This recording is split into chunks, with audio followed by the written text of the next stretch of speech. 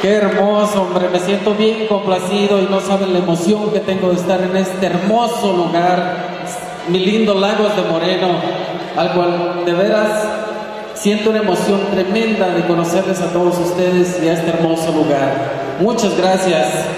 Viene ahí, Mariachi.